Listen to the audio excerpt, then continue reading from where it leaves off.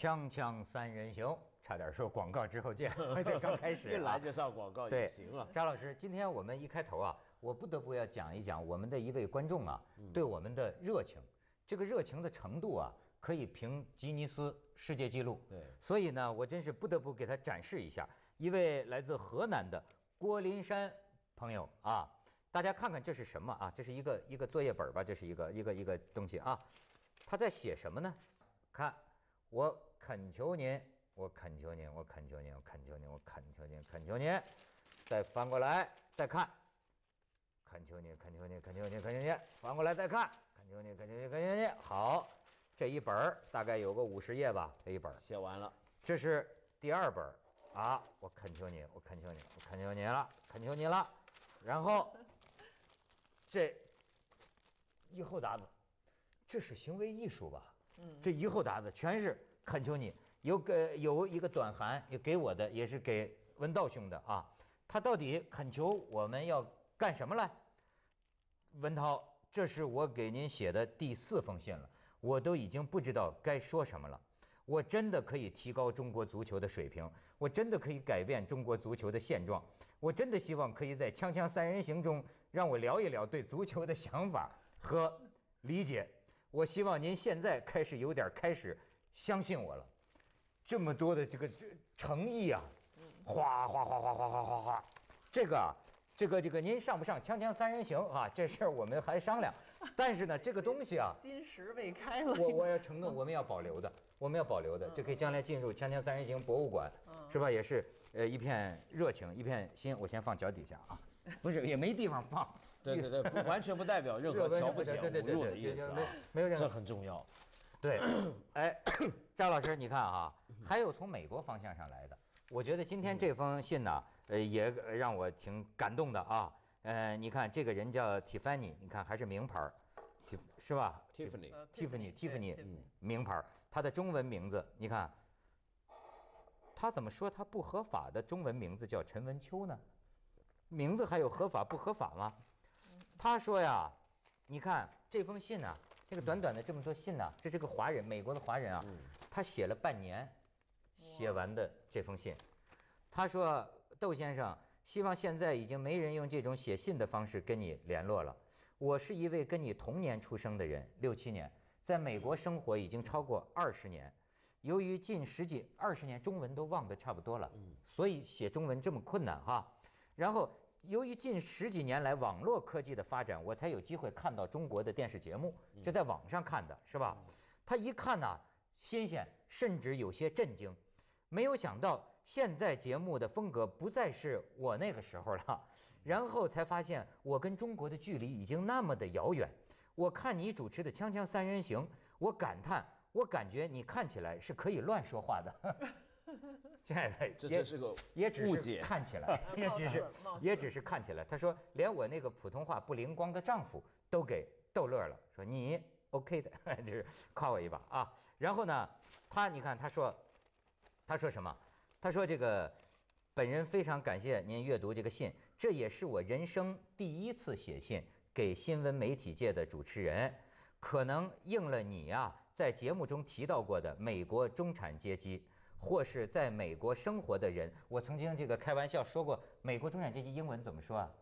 不，American bourgeois，呃，middle Yeah, bourgeois middle class，是或者是 middle American class，middle boring life，说一 种美国中产阶级的生活，无聊的生活，boring life。你看他记住了，他说啊，我就是你说的那种美国中产阶级的 boring life 吧，我就过着这种生活。你知道吗？我们是很惨的一代移民，不知道自己到底属于哪里，也不能打入美国的主流社会，也不属于美国的低层，上不着天，下不着地。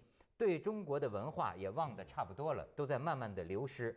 现在可是提笔忘字，语句也颠三倒四，而英文也不怎么样，真惨。我们活到这个岁数，也开始想当年了。你觉得可笑吗？哎，我觉得这个不可笑啊这就说到美国了，赵老师，你应该很有体会。嗯，我我可以算老美国了哈，对啊他这，个而且张老师师太不一样了，人家张老师不是那种什么中文也不行，英文也不行，他是中文也好，英文也好，两种文字都写书做广啊。告了，是不是？那对啊直接用英文写论著的人，对啊，大受欢迎啊！嗯最近，而且你知道吗？这个告诉你个好消息，报喜来了。嗯，美国不是有一个很可耻的地产商叫做特朗普吗？是吗？你不知道那个 Donald Trump 那个大暴发户嘛？啊就老演电视剧，前阵子出来说要选美国总统成笑话的那个是个大富豪。嗯，他呢最近说呢，他看了一些关关于中国的书，影响了他对中国的观念。其中一本就是咱扎老老师的书 然后扎老师的书，他看完之后，他得出一个结论，必须跟中国打贸易战。写的什么书啊？崩溃。张老师，我就是前才出了几个月，我四月份出了一本英文的新书，张老师，我还正跟你转转告呢我昨昨天晚上跟一帮美国混不不是美国混，跟一帮 美籍的华人，不是混混啊，都是我们的好朋友，呃就是呃在一个朋友家里吃饭。他见到我呀，让我一定要向你转告。他是在洛杉矶的华人，现在做律师，办这个投资移民的，你知道吗？他说你一定要转告你们那个扎建英，说二十年前我就是追随着他的脚步，看着他的书，不惜一切代价去到了美国。他决定了我一生的人生。结果错过了中国的黄金时代，发财没发成，那是吗？终于到回到中国来捞钱了。哎，但是但是你是这这形象，你是二十年前写了本什么书啊？？我想他说的肯定是我曾经那一段出出的小说里面有一个中篇是比较就是读者比较多的，有一个很煽情的名字叫《到美国去》，到美国去，哦带着惊叹号的。但是你说他说的也很有意思，你刚才讲他现在到中国来淘金了吧？但是跟着他的一位美国一个证券业的人士，也是一个华人啊，讲了一句我觉得饶有这个味道的话。他说呀，我在中国做过几年这个金融啊，到后来我就走了。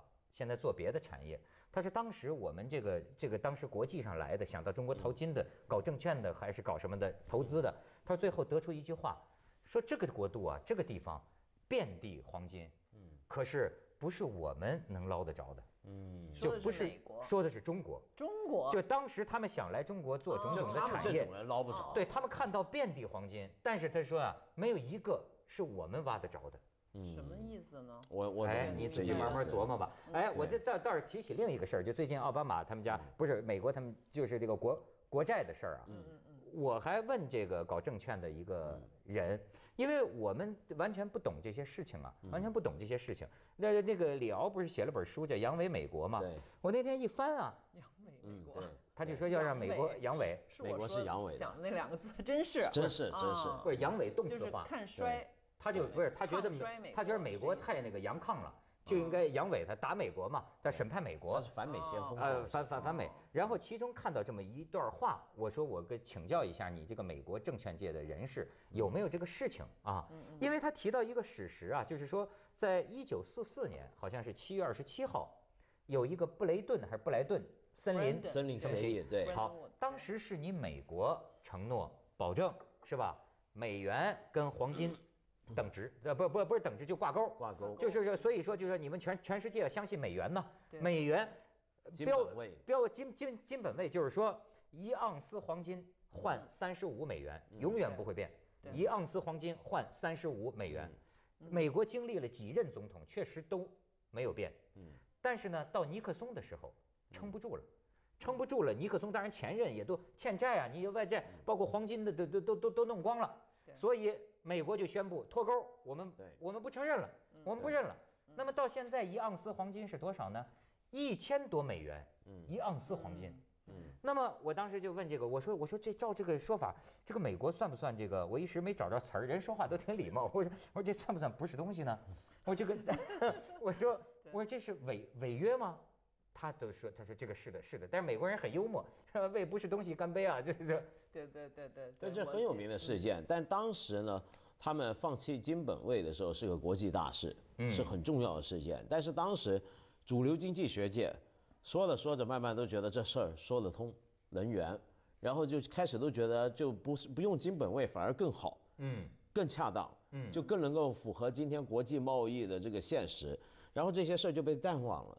是直到这几年美国国债问题严重，然后大家都觉得美元霸权快不行了，于是又挑起这些往事出来批评。但是你这个不等于你要是我不懂经济啊，但我要去简单听这个啊，那你真是掠夺全世界的财富啊！你搞这个嗯，你美国人最讲诚实啊，讲信承对承承承诺呀。你玩这一把，的是是这个，我包括就是前一段我就是在美国的一个笔会上遇到一个嗯美国作家，当时我就说到这个，我说呃，美国这个国债这么大，借了这么多债，嗯，其实使得你跟全世界人在宣扬你的体制的悠悠长的时候。你不是很有说服力了，以后，因为你欠所有的人的债，你去跟你的债主去说你们应该怎么怎么样，你怎么说呢？啊，而且呢，我就其实我是拿中国来说举例嘛。然后美这个这个美国作家其实还是那个苏森桑塔格的儿子，你知道，也是蛮有名的一个人，哦你知道他 David David 对，这 David 就马上跟我笑眯眯的，就是说的说的，哎，这个事情不是说就是说光是对呃那个我们美国坏，对你们中国也不好，因为呢实际上呢，如果你借了啊四百万。这是的确是你们你们就着急了，呃，不是我们着急，我们得还这四百万。但是如果我记了四万亿呢，嗯就这个意思吧，不是这个准确的数字，那就是两家全慌。你跟我是一条船上的，因为你害怕我，对万一我还不起这个，你就你这钱就打水漂了。没错现在正是这现在我们是有点被绑架，你知道吧？就等于说你长期你一个房子很贵的租给一个租客，嗯，这个租客霸着不走，欠了一屁股，但你没办法赶他，因为现在是除了他之外，没人能够给你还这就这笔账。多就是那个狮子狮子多了不咬，债多了不愁嘛。愁这个中国人明白这道理啊中国上的啊这条船前几年还是在被宣传，对，就是说，哎呀，我们接轨现在跟美国的经济完全是很连体婴儿啊，就谁也离不开谁。他外不需要，我那时候就说这个他用的那个词就是 Siamese，对，呃，Siamese twins 是吧？对嗨，我说这当然这也是马后炮了。现在我就说，实际上这连体婴儿怎么那时候被当一个好事儿来说呢？连体婴儿是病啊。是个病啊，是畸形啊。但是话又说回来，我觉得哈，咱们虽然金融都是外行，但我觉得这事儿是不是这么一个道理？他我们不是被他们强制买的，我们是自己买的，肯肯定也是。出于我们自己的利益，中国的利益来考虑的，是不是能这么比喻？就是说，就像，呃，我们是店主，比如说，我们有很多货，我们出很多货。美国是最大的买主，他买东西最多嘛，他钱最多，他的那个出手最大方。那有的时候你是店大欺客，可是这个时候呢，就是变成客大可以欺店了，你知道吗？因为你要靠他，你希望他多回来买东西，你就可以给他赊债嘛。他现在比如说买不起，他是。借一下债，他的信誉又好，对吧？美元信誉最好啊，全全世界第一。但你就不断的给他赊债，这样可以刺激他就回来买买东西我发现。国际形势跟国内的事儿啊都是一个道理，就是欠债的成大爷了，是吧？对没错咱们去一下啊广告，锵锵三人行，广告之后见。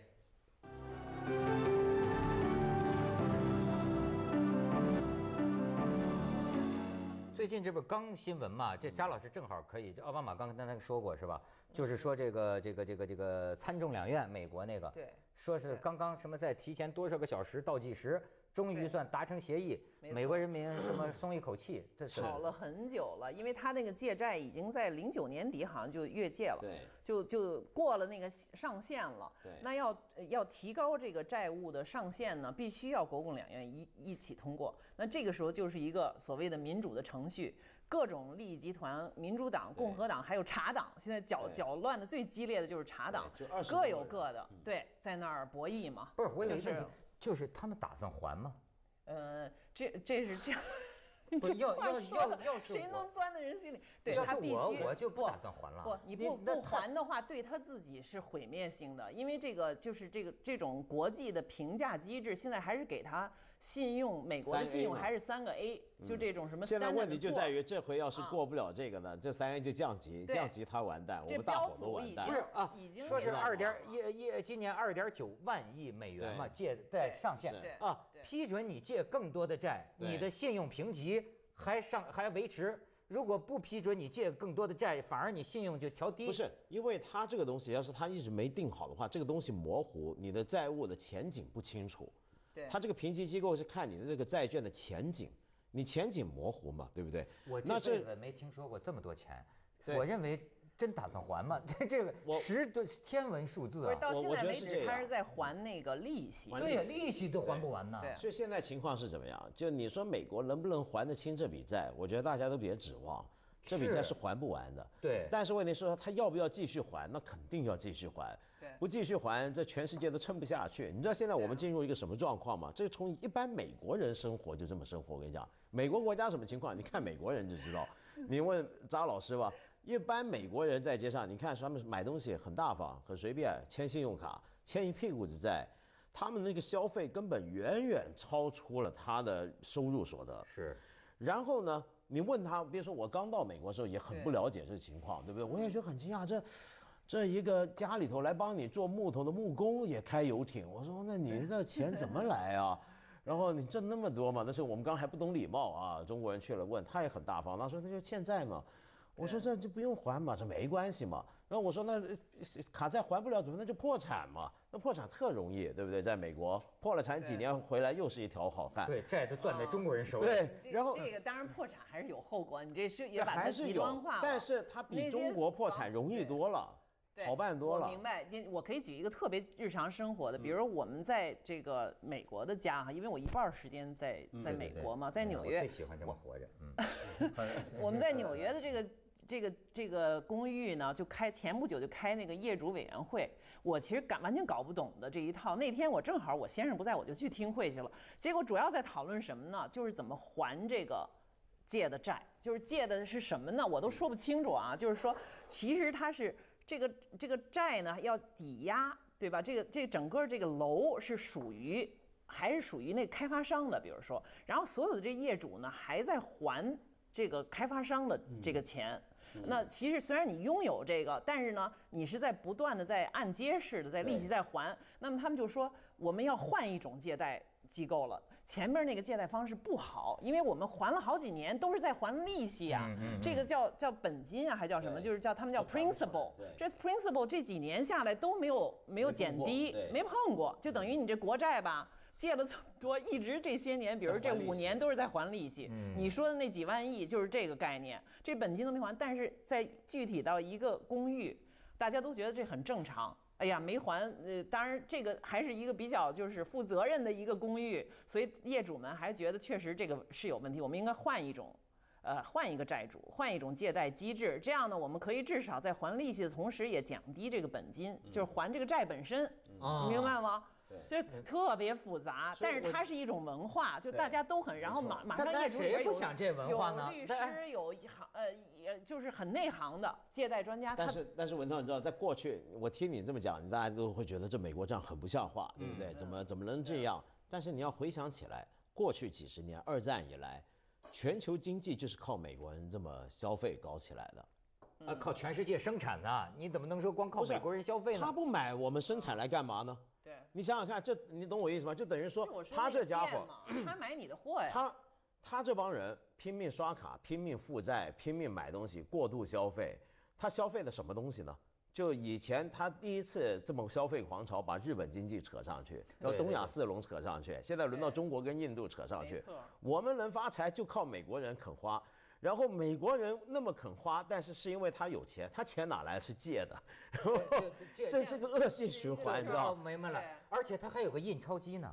对啊你，这还有个印钞机他这个不要脸呢，你知道吗？就是说，这个印钞，量化宽松能够量化他你看 n 次，我他一旦不行了，他就哗哗哗，他印钞票。我那天看见一个数字啊，但是有有就在核实，我不我不知道，说利差有一个词儿我听不太懂，利差但是不是指的就是说我印一个钞票，嗯，我的成本和真正我能拿这个钞票卷回来的这个这个价值啊的这个这个差，就是说美国印钞票印美钞啊，它一年的利差大概是两点九个亿左右吧，两点九个亿左右。你知道美国一年的军费就两点九个亿左右，对，所以我看到的这种推论就是说，拿全世界人的这个债这个钱呐，养他一年到处耀武扬威的军队，对，你说我这是要问题是这样，美国这个他这个，但是他这个军费其实也等于他实际上是扮演世界保护我们是吧警察，没错，保演所有的海盗。对哎你贸易通道，你中国现在肯出这个军费吗？我们去去保护所有的国际贸易通道，不是光是我们运啊，全世界都要用这个贸易真的，你。很简单，这是就是美国的共和党，他们就老说这话嘛。他们那边的人就老说，比如他举几个例子，你巴拿马海峡，你这个苏伊士运河、巴拿马运河，这个马六甲海峡，这过去都是海盗横行的那几个海域，或者世界最重要的贸易通口，谁在那管着？好，这个军委长，那那你中国有有航母吗？行，来，我们撤了，你们来。所以是这，你知道现在是变成这样，就是骑虎难下，你知道大伙咱们大家都傍大款，都傍老大，靠老大，靠老大呢，老大就要吃四方。没错，就这个概念，锵锵这样三人行，广告之后见。终于弄懂了。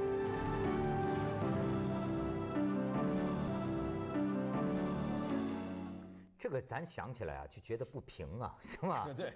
对，在以前人类史上没见凭什么过这样你们。都吃成大胖子啊？啊而且美国咱就早知道这种高能耗、高消费，它几个地，如果中国人都像这么生活，那得三四个地球才够啊。的确，我们忍饥挨饿，我们给你生产，你整天啊就当老大，就这个哎但威风啊！但是现在中国上去了，对啊就从肥胖上都表现出来。我们现在这个胖胖的问题，各种病，跟这尤其小孩的胖肥胖病啊，对，都是富贵病了。